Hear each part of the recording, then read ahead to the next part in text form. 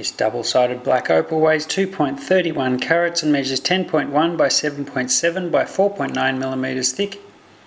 It's double-sided, it's an N1 with a brightness of 3 and medium domes on both sides.